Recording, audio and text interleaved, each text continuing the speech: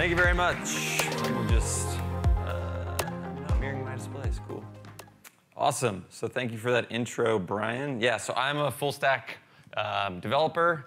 Uh, previously, I was working at a company called MuleSoft on their UI UX team. Um, and yeah, we're gonna talk about some React component stuff. But first, what talk would be complete um, without a little bit of history? I was also told to make this first talk really energizing, so what better than history?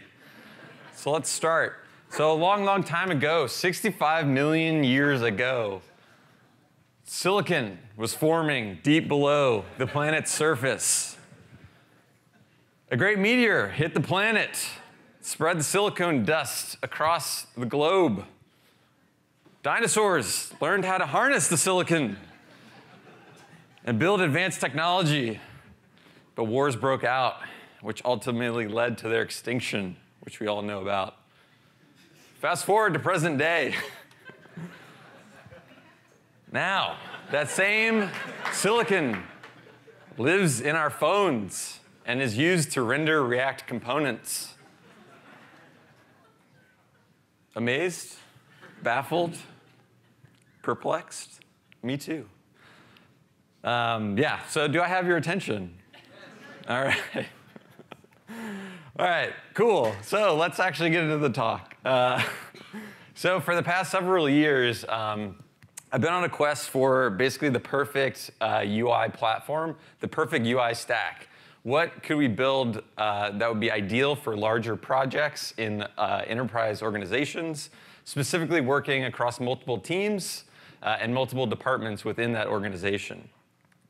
So there's no shortages of solutions out there. Um, you know, take everything that I'm saying with a grain of salt. These are the, the, th the learnings that I've had over the past three years now, building uh, two different component libraries for organizations. Uh, but yeah, and this uh, picture is actually all of the JavaScript libraries out there um, released this week. So cool. So first, like first, close your eyes and imagine what, what's your perfect setup? What would be ideal, your ideal stack? And I'll jump into mine. So first, a little bit of background, like where we were at at MuleSoft um, and why this all kind of came about. So it, it started like, I'm sure a lot of you are familiar with this sort of scenario where your application and maybe your marketing site look completely different. Uh, maybe you have a series of different applications that are just, the, the UI, the, it doesn't feel cohesive.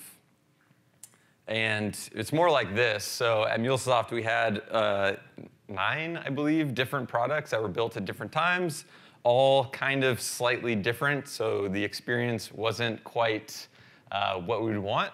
Um, so basically, we were set out upon this journey to solve that. So my ideal uh, scenario is, you know, imagine a, a, scenario where you have a single code base for your marketing site, your, your blog, your web application, mobile apps, or even inside legacy applications. Um, and this is set up, set up for uh, teams to use um, across your organization.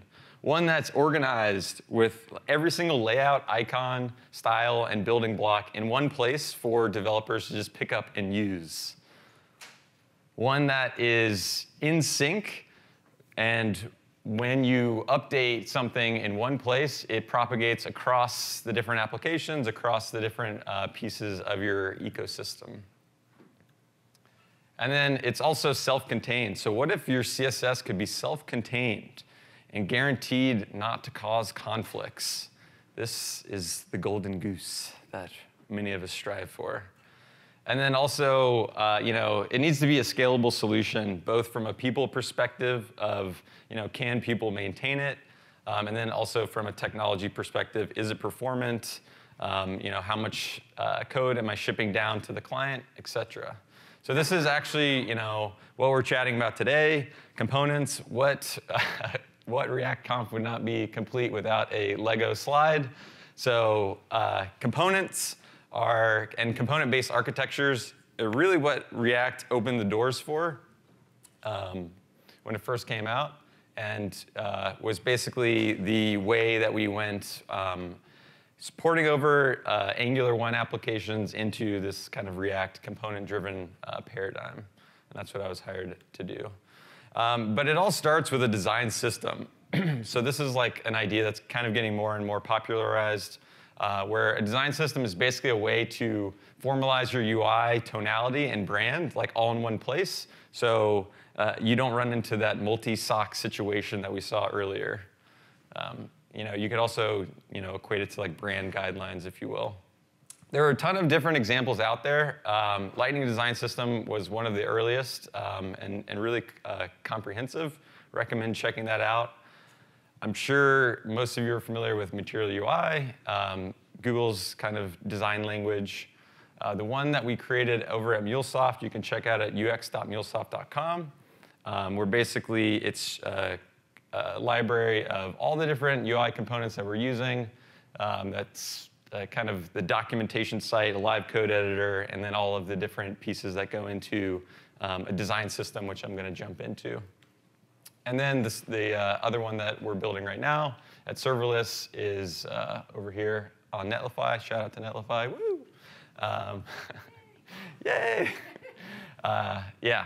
So it's very similar concepts. You have uh, all of your components in one place, all documented with the prop types, and a way for developers to actually see and use live examples. So uh, they, can, they can literally kind of copy and paste code and be off to the races.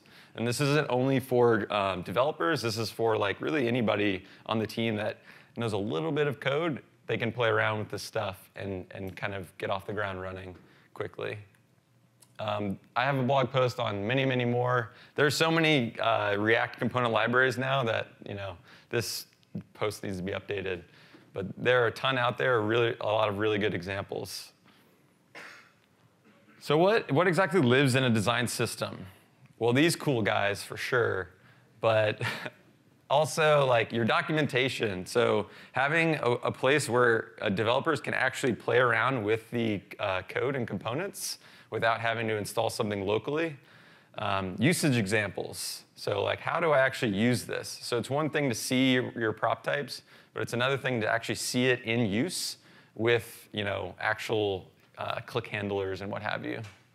Um, platform guidelines. So uh, what are the UI paradigms uh, of your application? What do settings screens look like? What do modal interactions look like? What are the primary and secondary colors? What are tertiary colors? That sort of thing. Um, as well as, yeah, UX guidelines, which kind of fall into that. So that's, that's kind of like my ideal stack. Um, that's what we were striving to do. But all this stuff sounds like, oh, pie in the sky, fancy stuff. How do we actually do this? Let's actually look at real code and uh, real examples. So um, this is how uh, we're going to run through these, um, how to build a component library for like larger consumption. Um, but it basically, yeah, we'll, we'll go through each one of these as we step through. So the first one is breaking things down. So you take a look at any piece of your UI, and you know, you basically see, start to see the tiny, tiny pieces. You can break every single thing down on your screen into tinier and tinier pieces. So here we see everything's a component. Um, everything can be extracted into a tinier piece and reused.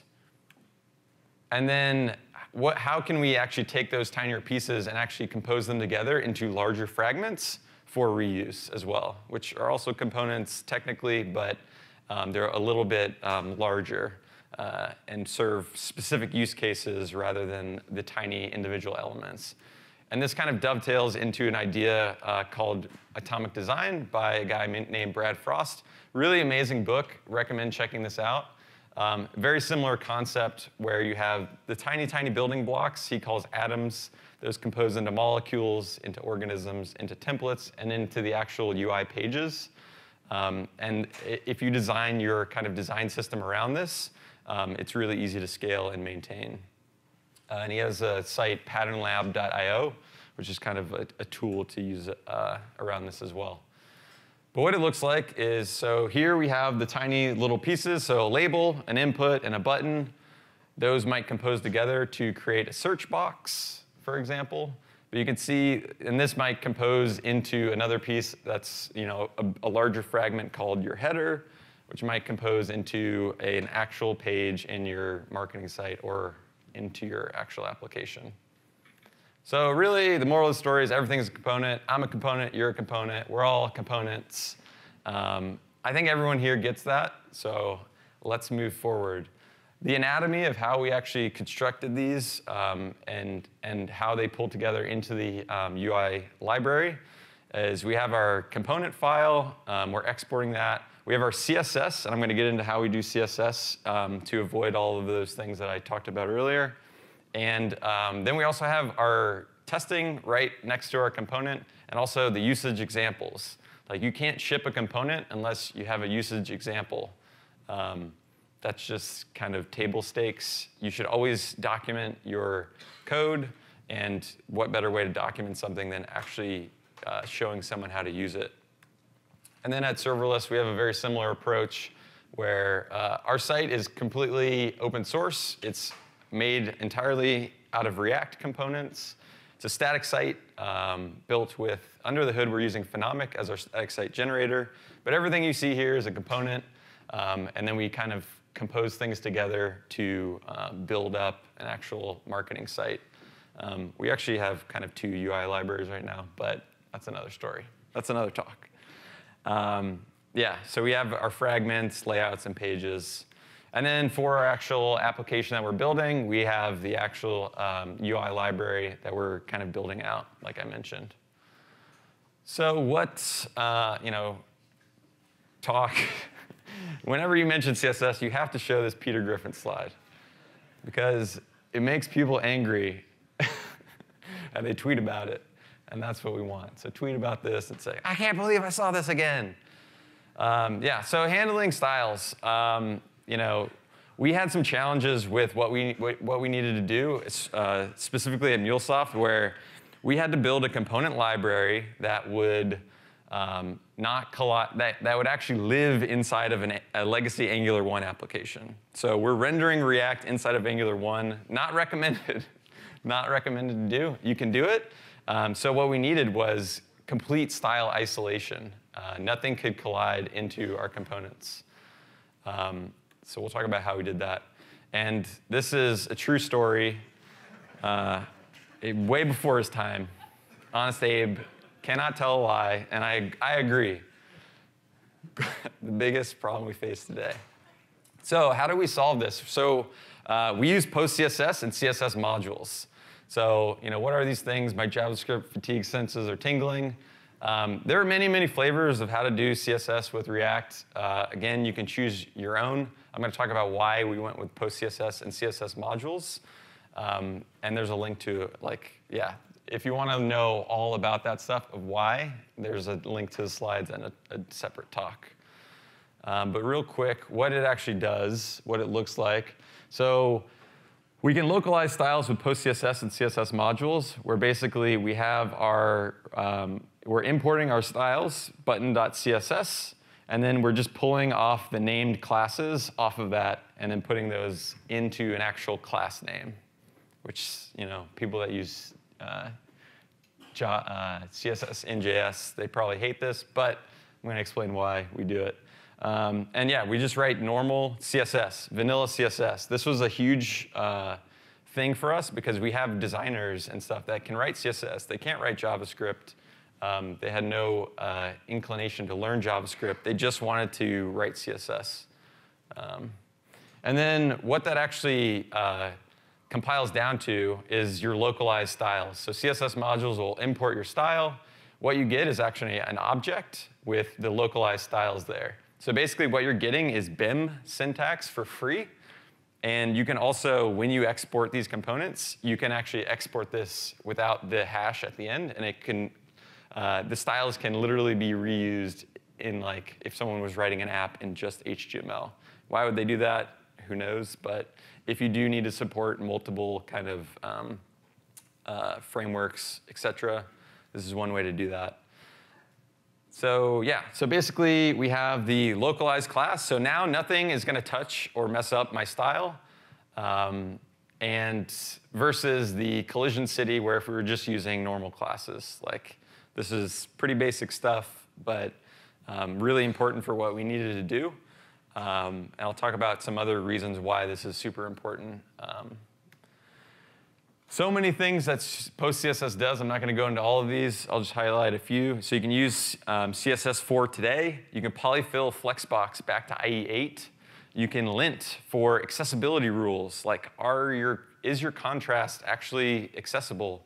Um, you can actually reset all inherited properties. So this is, uh, you know, um, uniquely namespacing your classes is one thing, but resetting the inherited properties is another. And that's actually um, really important for making sure my thing is going to look like my thing 100%. Um, and that's with the initial all uh, property, which is a CSS4 spec. You can uh, critically inline CSS uh, uh, amongst a million other things. Um, but yeah. So do you really need this? Uh, if you're working on a team, I'd say yes. If you're including any third-party CSS like Bootstrap or anything, you want to you know, isolate yourself from that. Um, are you running markup inside of a third-party environment? The answer for everyone is yes, because the browser is a third-party environment, and any, any number of extensions could collide into um, what you're trying to do, especially ad blockers if your business relies on that um, sort of thing. Um, and then the other really cool benefit about PostCSS is it gives it actually transpiles your CSS into an abstract syntax tree, which gives you it's basically like Babel for CSS, where you can do any sort of transpilation that you want. Um, and that's really powerful. Uh, any, any transformation you want using JavaScript, any sort of JavaScript library. And we'll go into that. Um, yeah. So cool. So that's, that's how we do uh, CSS. Um, how do we handle uh, global assets? So variables, mixin, and like icons. So icons, um, they're all powered by JavaScript. Uh, again, using uh, PostCSS as the engine here. So what that looks like is you just require in the uh, plugins that you might want to use. If you're using Less or Sass, you can pull that in as well. Um, or just use vanilla CSS, it's up to you. Um, this is yeah, how you would import it and then use it in Webpack. What's really cool about this is your variables living in a JavaScript file means I can do any sort of manipulation to these values that I want. I can put in custom math to calculate my font sizes, whatever. Um, and because it's a JavaScript file, it's accessible within any of my components. If I do want to do inline styles or any, any CSS in JS, but it's also accessible uh, in the CSS files themselves. Um, similarly with mixins, same, same idea where uh, you know, instead of having to rely on what Sass or Less give you as mixins, I can literally, literally write any JavaScript function I want, use any NPM package that I want to trans, trans uh, you, you, know, pile my CSS into whatever I want it to do. Um, so it's kind of like raw flexibility.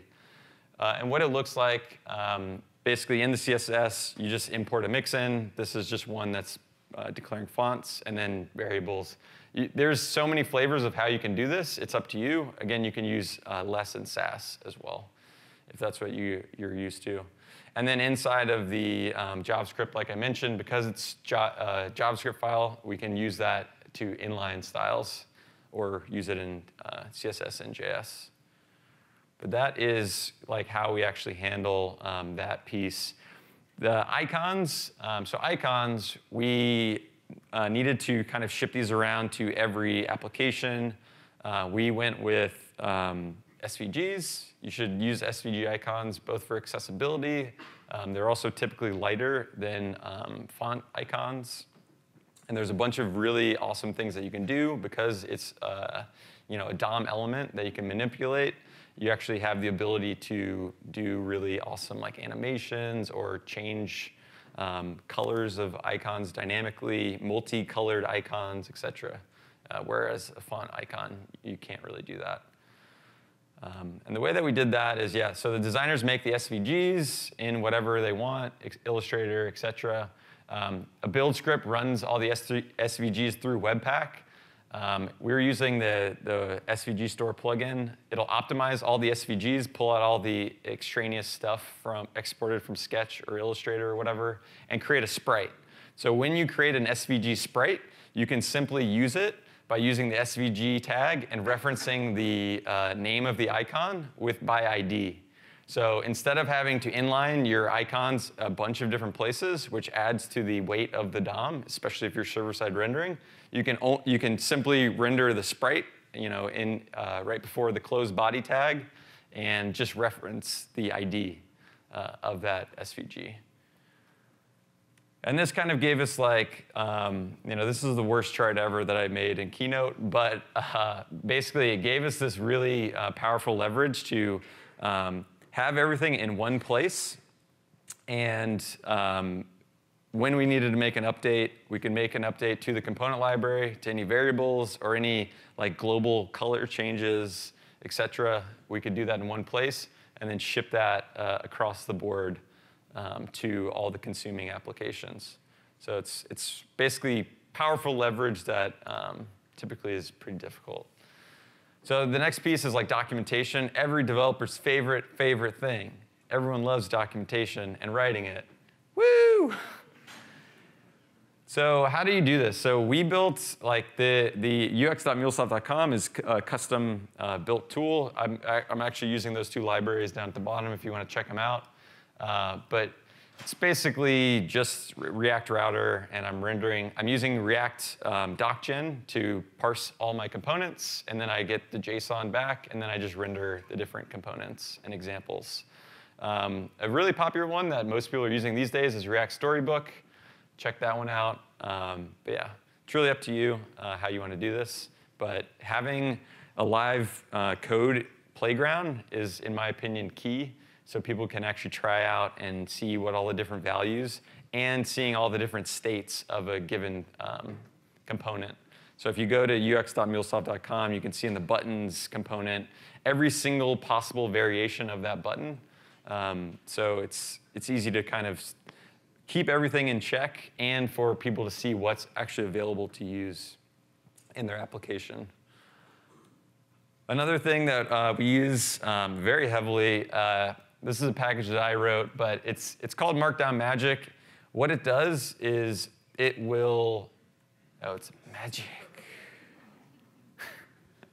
what it does is basically uh, in your Markdown, you can use a comment to uh, a comment block, which is invisible in GitHub. You know, you can't see it. Uh, and then when you run like it through Markdown Magic, it'll actually auto-generate content inside of that block.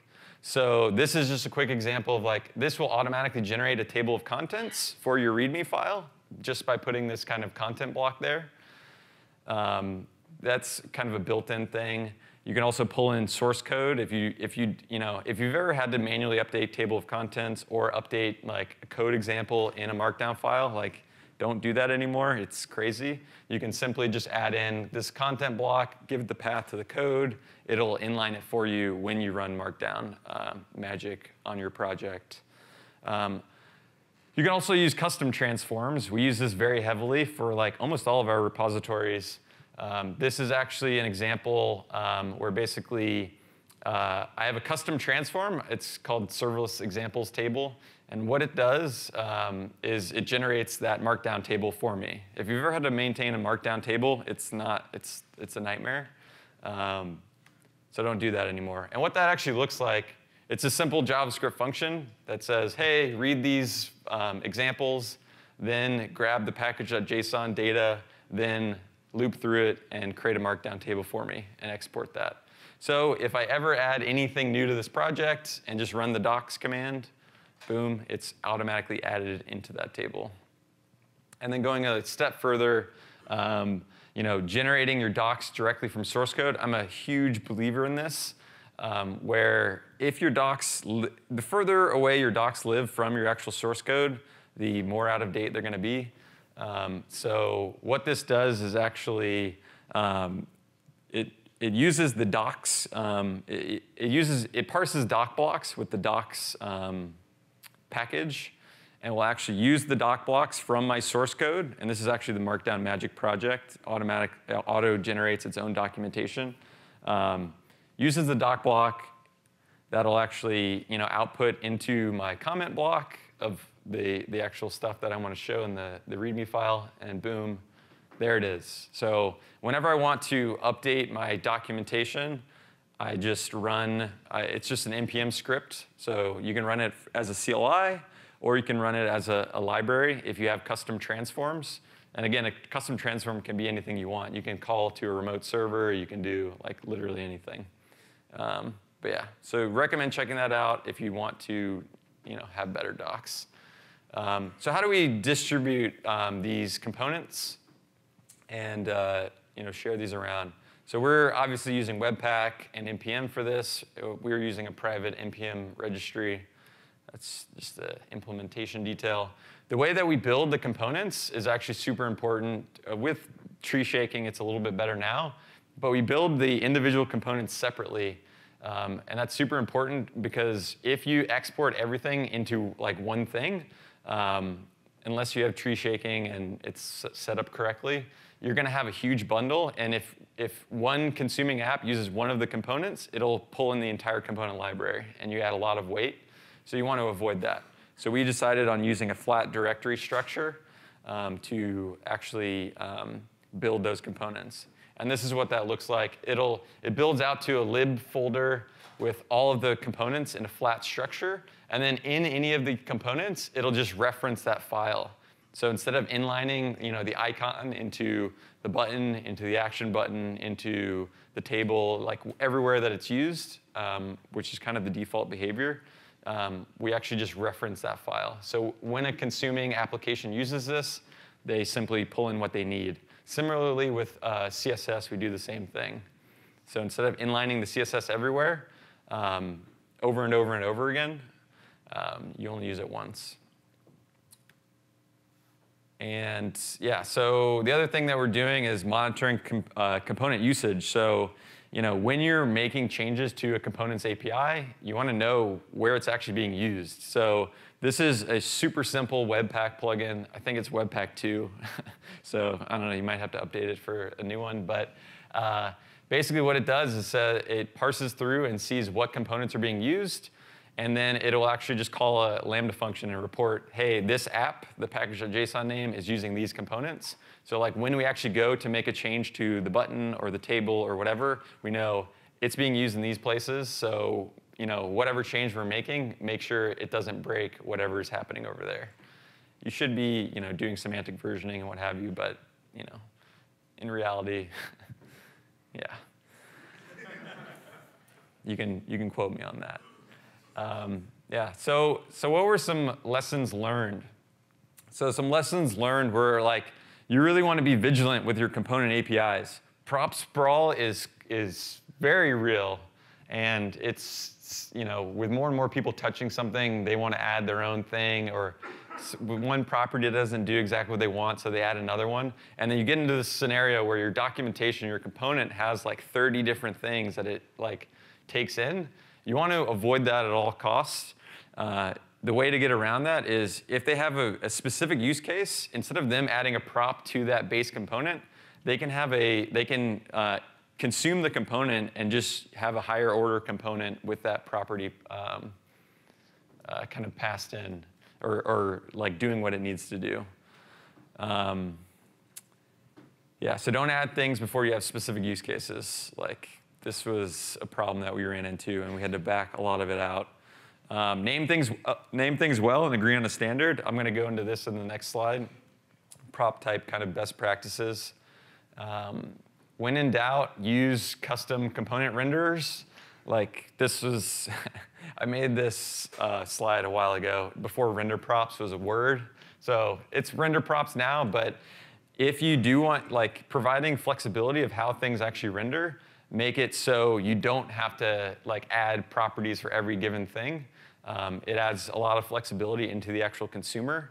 Um, and then if you see that pattern being used over and over and over again, um, then maybe it's, it's actually worth putting into the API or worth putting that composed component into the shared component library.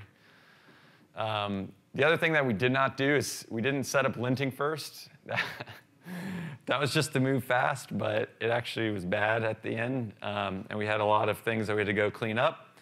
Um, the other thing that you want to do is, you know, test for server-side renderability early and often. So um, even if you're not doing server-side rendering, you might someday.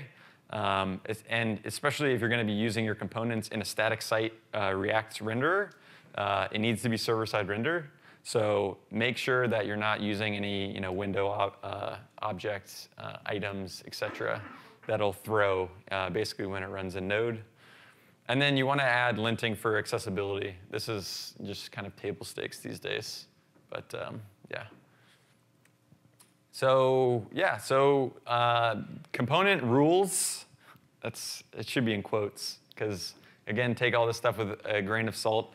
Um, these are prop type conventions where basically you want to keep things as minimal as possible. Avoid sprawl until you absolutely need it. Again, you can compose components together. That's what's great about them. Um, keep things minimal. Mirror the DOM wherever possible. So this one might be controversial to some, but if you are re, like recreating um, attributes that like are basically the same thing as what the DOM already does, why are you making a developer learn your API versus just like, hey, this is how HTML works. Just it's it's very similar to how React Core works. They mirrored all of the DOM APIs, even if uh, yeah.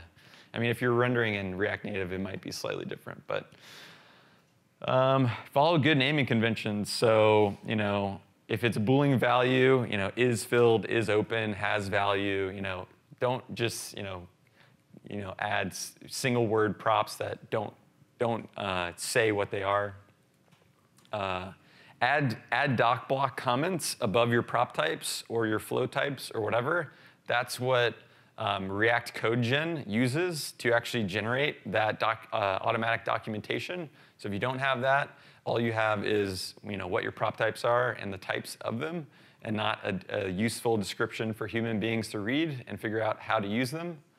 Um, and then you want to avoid any like unnecessary abstractions. That's just kind of like, just do, just do that for everything, honestly. All right. So yeah, some final thoughts. Um, with this setup, we, we were able to achieve like a way faster development uh, velocity. and this you know, was propagated throughout like the eight or nine different product teams. Um, and it was just, it was way better than maintaining. We, before this, we were maintaining like a bootstrap library that uh, was just kind of, it was too big and had a lot of problems with it. Um, Individuals can work on isolated parts of the system. This is like the beauty of the component architecture. Uh, if one developer needs a certain use case, um, you can kind of discuss like, hey, does it belong just in your application or is it actually super useful for everyone? Um, and then you can kind of uh, promote that in. Um, you also, you know, with React, you have the ability to render this in multiple different targets. That's kind of a, a win here as well.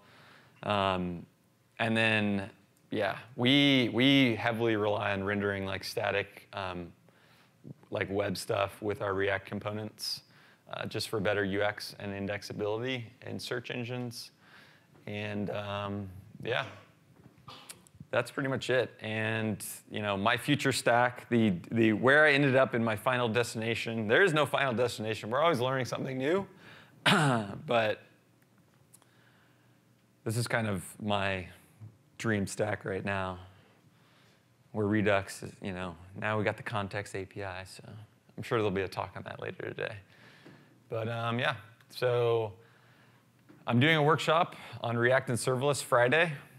I'm going to be talking about how to use AWS Lambda and React together to build like ultra, ultra scalable systems. Uh, if you're interested. And uh, yeah, thanks for listening. The slides are right there. And feel free to tweet at me with any questions of how we did this or any of the links, etc. Yeah, thanks for listening.